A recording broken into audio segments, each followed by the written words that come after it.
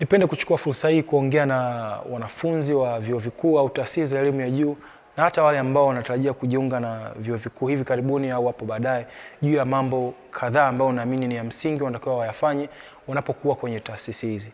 Kwanza ningependa kuwakumbusha kwamba uh, soko la ajira kama masoko mengine yanatafuta au wanunuzi au watumiaji wa bidhaa wanatafuta bidhaa iliyo bora zaidi na changamoto ambazo tumekuwa tukutana nazo hasa kwenye taasisi za elimu ya juu ni lawama kwamba vyuo vyetu haviandai wanafunzi ambao wanafiti au wanahitajika kwenye soko la ajira.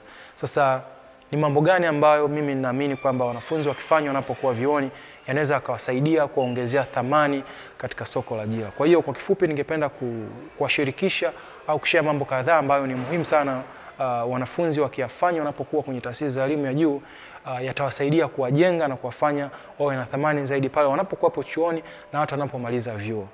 Kitu cha kwanza ni ushiriki katika vilabu vya wanafunzi au clubs ambazo zinakuwepo kwenye taasisi za elimu ya juu. Uh, vitu vingi ambavyo wanafunzi wanajifunza wanapokuwa vyuoni vimeandaliwa uh, kufiti au kukidhi mahitaji ya mtaala, lakini kuna clubs nyingi sana ambazo zinakuwepo kwenye taasisi za elimu ya juu ambazo zinaweza zikatumika kuwa shape na mara nyingi zinatumika kuandaa vijana vizuri kuwa na zile uh, soft skills ambazo waajiri wengi wanazihitaji. Kuanzia communication skills, leadership skills, uh, decision making skills, uh, negotiation skills na skills nyingi sana zinapatikana kwenye clubs hizi kwa sababu zinaandaa vijana kuwa na, na kujiamini kwa sababu hivyo ndio vitu ambavyo mara nyingi soko la ajira linavyohitaji. Kwa hiyo ukienda kwenye taasisi za elimu ya juu kuna clubs nyingi ambazo hata wanafunzi wenyewe wanazifahamu. Uh, naweza nikakutajia chache ambazo mimi nazifahamu na naamini zimewaandaa vijana wengi sana kuwa uh, watu bora zaidi. Clubs kama ISEC, uh, Youth of United Nations, UNA na nyinginezo nyingi sana ambazo mara nyingi lengo lake ni kuhakikisha kwamba zina uh, kidhi au zinafikia mahitaji ambayo jamii inaitaka, lakini pia zinawaandaa vijana. Uh, kitu cha pili ni ushiriki katika nafasi za uongozi katika level mbalimbali katika maeneo ya, ya, ya, ya, ya chuo.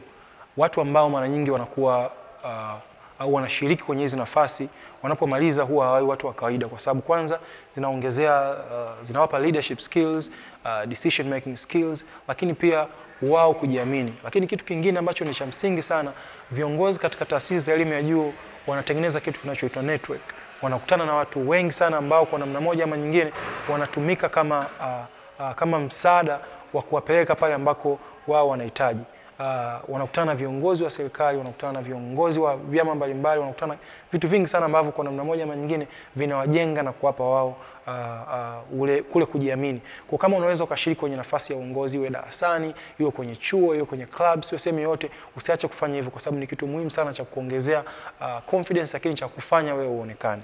Kitu cha, kitu cha tatu ni ushiriki katika mikutano na makongamano mbalimbali. Uh, wanafunzi wanapokuwa kwenye taasisi za elimu ya juu wanapata fursa nzuri sana ambazo uh, watu wengine hawawezi kuzipata wanapokuwa nje ya mfumo wa elimu.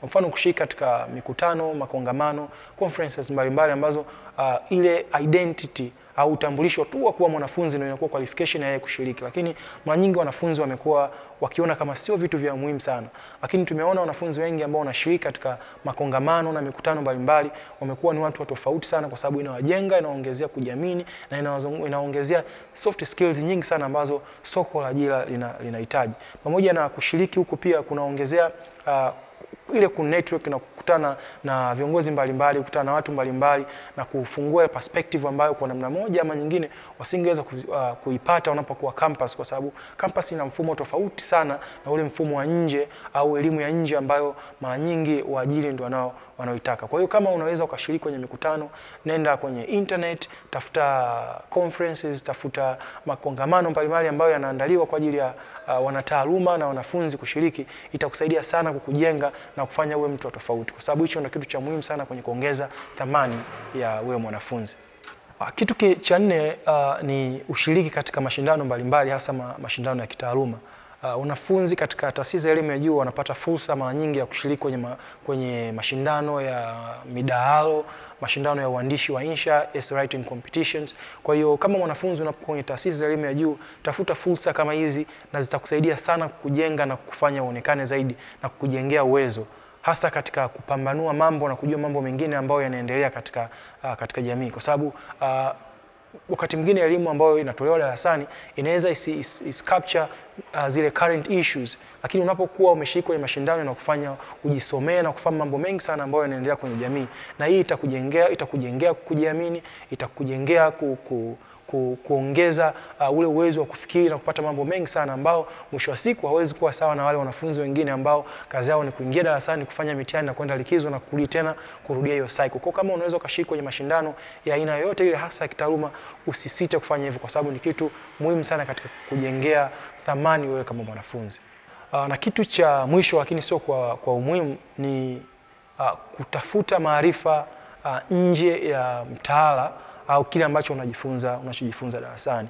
Sisi tunapokuwa tunafundisha wanafunzi au wanafunzi wanapokuwa darasani, mara nyingi wanajifunza kufuata mtaala ambao umeandaliwa na, na, na, na taasisi husika, lakini uh, sasa hivi ulimwengu huu tulionao kutokana na, na, na maendeleo ya sayansi na teknolojia, mwanafunzi anaweza kutafuta maarifa yeye mwenyewe anayoyataka. Ukienda kwenye internet, ukienda Google, ukienda sehemu yoyote ile, inakusaidia wewe ku, ku, ku, ku, kujijenga au kukujenga zaidi katika uh, kufahamu vitu vingi zaidi. Unaweza kama unasoma sheria lakini unataka kufahamu mambo kidogo ya IT. Kwa hiyo unaweza ukatumia fursa hii kukusaidia wewe kuwa na skills zile basic eh, za, za area fulani ambayo sio ya kwako ile ambayo unaisomea. Kwa hiyo itakufanya wewe una uwezo wa kufanya mambo mengi na kufikiria zaidi ya, ya, ya, ya nje ya kile ambacho unakifanya. Lakini cha nyongeza pia ni kuhakikisha katika haya mambo yote unayoyafanya jamii inakuona. tuna social media uh, uko Instagram, uko Twitter, uko Facebook, uko wapi, unatumiaje mitandao ya kijamii? Uh, mara nyingi tunatumia mitandao ya kijamii kuposti vitu wakati mwingine ambavyo kiuhalisia havitujengi au havitengenezi image nzuri kwa jamii. Kwa hiyo ni vizuri sana unapoenda kwenye conference, unaposhiriki debate, unaposhinda kitu ambacho unaamini kinaongeza thamani yako, jamii kuone. It's better to show off sometimes, ili hata mtu mwingine anapotaka kuangalia au kufahamu wewe, anaweza kaenda kwenye social media akaangalia tu vile vitu unavyopost, ukaonekana kwamba wewe ni tofauti na wale watu wengine. Kwa hiyo jitahidi sana kutumia mitandao ya kijamii vizuri, kujibrand ili jamii kuone, waajiri wakuone na hata watu wengine wakuone, ili kusaidia wewe kuwa mtu wa tofauti. Nikwambie tu kitu kwa sasa hivi, uh, hata waajiri wakati mwingine wanapokuwa wanatafuta taarifa zako, wakishindwa wanaenda kwenye social media. Zile ndio zinatuelezea uhalisia wa wewe ni mtu wa aina gani. Kwa hiyo tafadhali tutumie mitandao ya kijamii vizuri. Nikushukuru kama una, umefuatilia video hii na kama ni mwanafunzi unaweza ukafanya, kama ni rafiki unaweza ukashare na, na, na mtu mwingine. Kama ni mzazi pia unaweza ukashare na, na mwanao ili ajue namna gani anaweza akajiongezea thamani kwenye soko la ajira anapokuwa shuleni, lakini hata pale anapokuwa nje ya, ya, ya chuo. Asante sana, naitwa Kelvin Mwita.